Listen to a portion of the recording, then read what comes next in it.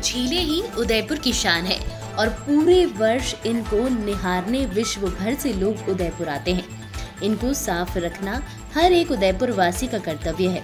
इस क्रम में झील हितेशी नागरिक मंच के सदस्यों ने कल रविवार को रंगसागर बारी घाट इमली घाट चांदपोल पर श्रमदान कर लगभग दो क्विंटल कूड़ा, कचरा, पचपन शराब व पानी की खाली बोतलें निकाली।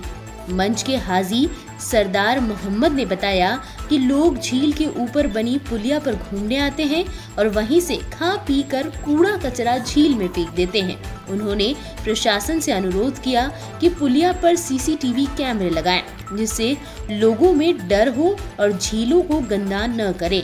श्रमदान में हाजी सरदार मोहम्मद कमलेश पुरोहित, सतीश मेवाड़ा, दामोदर लाल कुमावत, खूबी लाल वासुदेव, किशोर गहलोत बद्री लाल एवं अशरफ ने भाग लिया।